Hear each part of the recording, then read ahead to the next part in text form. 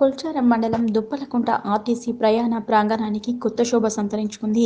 నిరుపయోగంగా ఉన్న బస్టాండ్ సర్పంచ్ దామన్న గారి వీరారెడ్డి కృషితో ప్రయాణికులకు అందుబాటులోకి వచ్చింది. పంచాయతీ నిధులతో రంగురంగుల కలర్స్ వేసి బస్టాండ్ను ప్రత్యేకంగా ముస్తాబు చేశారు. సర్పంచ్ చేసిన కృషిని స్థానికులు ప్రత్యేకంగా అభినందిస్తున్నారు. ఎన్ని రోజులు నిరుపయోగంగా ఉన్న బస్టాండ్ను సర్పంచ్ కృషితో ప్రయాణికులకు అందుబాటులోకి వచ్చిందని హర్షం వ్యక్తం చేశారు. పనులను టీఆర్ఎస్ మండల పార్టీ అధ్యక్షులు రాంపల్లి గౌరీశంకర్ పరిశీలించి సంతృప్తి వ్యక్తం చేశారు.